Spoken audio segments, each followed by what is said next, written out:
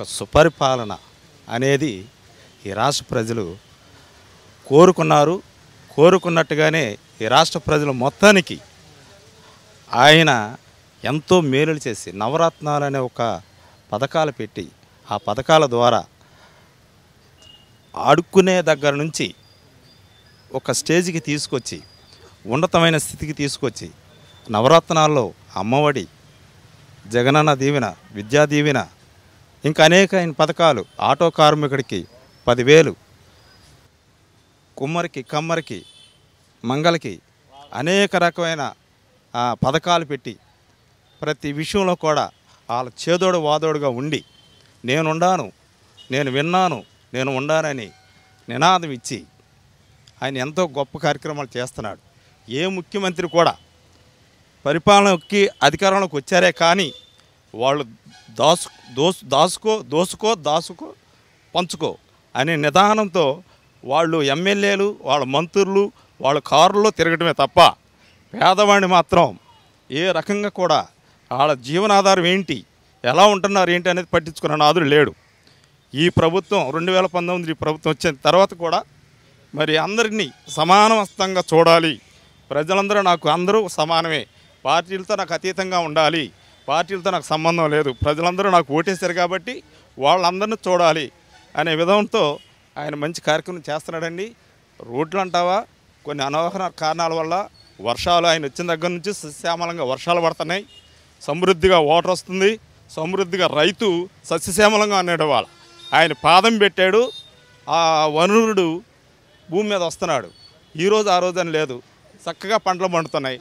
గతం ప్రభుత్వంలో నెర్లు కొట్టేసినాయి. ఈ ప్రభుత్వంలో ఆయన పాదం పెట్టాడు. సంతోషంగా జీవిస్తున్నారు రైతులు కూడా. ఆ క్ష- ఆ క్రమంలో కూడా రైతు అన్న కూడా చాలా బాగున్నాడు ఇవాళ. కాబట్టి ఈ ప్రభుత్వం రోడ్లు అనేది వేస్తుంది. రేపు రెండు వేల ఇరవై మూడు కల్లా ప్రతి రోడ్డు వేసి చూపిస్తుంది. న్యాయం చేస్తాడు జగన్ అనే. మళ్ళా అధికారంలోకి జగన్ రావాలి. రావాలని ప్రజలు కోరుకు ఈ రాష్ట్ర ప్రజలందరూ కోరుకుంటున్నారు. పార్టీలతో అతీతంగా కోరుకుంటున్నారు. అదొకటి. అదొకటి.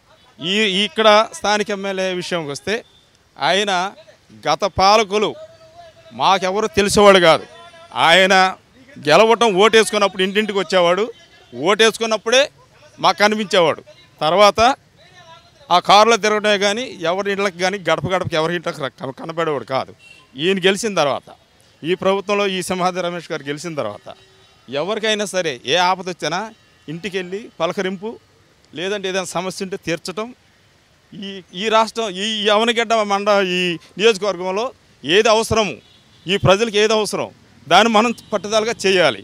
ఈ ప్రజలందరికీ ఉపయోగపడాలి. ఈ ప్రజలు నాకు ఇరవై వేల యొక్క మెజార్టీతో గెలిపించారు నాకు. నన్ను చూసి ఈ ప్రభుత్వం నాకు అండగా ఉండే ఉన్నారు. కాబట్టి ఖచ్చితంగా నేను మళ్ళీ ఈ ప్రజలకు ఏం చేసినా చెయ్యాలి. చేసిన తర్వాతే మళ్ళీ రేపు ఇరవై నాలుగులో కూడా ఆ రమేష్ గారే గెలుస్తారు పది ఓట్లతో మెజార్టీ అయినా ఈ ఈ నాయకుడే గెలుస్తాడని నేను మనస్ఫూర్తిగా నమ్ముతున్నాను. ప్రజలు కూడా అలాగే నమ్ముతున్నారు. ఏది కూడా అభివృద్ధి అనేది ఈ మా ఈ నియోజకవర్గంలో ఏది ఆగదు. ఇరవై మూడు కల్లా ఇక్కడ ఏది అవసరమో ఆయన అన్నీ తీసుకొస్తారు. ఖచ్చితంగా నూట డెబ్బై ఐదుకు నూట డెబ్బై సీట్లు ఖచ్చితంగా ఈ రాష్ట్ర ప్రభుత్వం గెలుచుకుంటుంది. ఇంకా వేరే పార్టీని విమర్శించను కానీ విమర్శించడం కాదు. కానీ ఈ చేసిన పనులనే నేను గొప్పగా చెప్పాలి. ఈ ప్రజలు తెలుసుకోవాలి. ఆ విధంగా నేను చెబుతున్నా. వేరే పార్టీలు వస్తూ ఉంటే పోతూ ఉంటే అది మనకు అనవసరం. గత ప్రభుత్వానికన్నా ఈ ప్రభుత్వం చాలా గొప్ప చేస్తుంది. మళ్ళీ ముఖ్యమంత్రి జగన్ గారు అవుతారు. ఈ రాష్ట్ర ప్రజలు ఇంకా సస్యమలంగా ఉండ ఉంటారని నేను ఆశిస్తున్నాను. ఏమండి?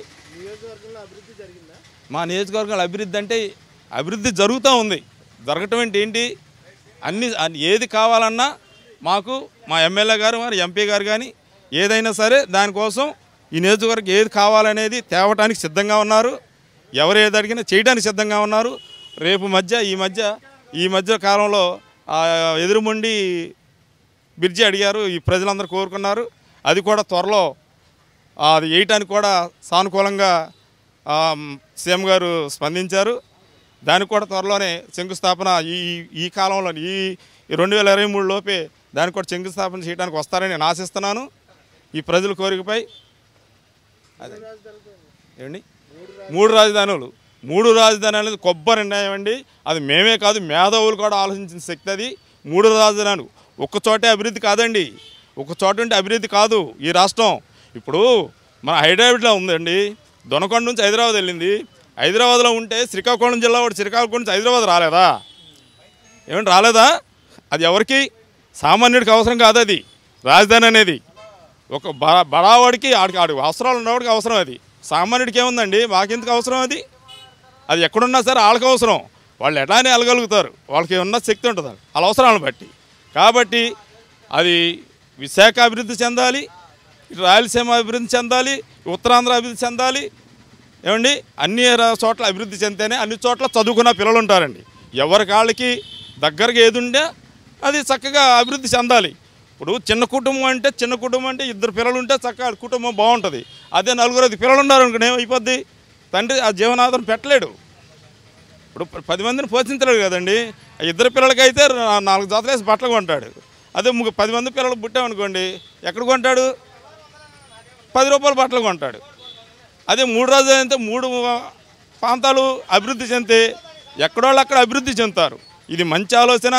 అది మరి జగన్ గారికి వచ్చిందో మరి ఇంకా మేధావులకు వచ్చిందో ఆలోచన. చక్కటి ఆలోచన అండి. ఈ రాష్ట్ర ప్రజలు చక్కగా సస్యమలుగా ఉంటారని నా కోరిక.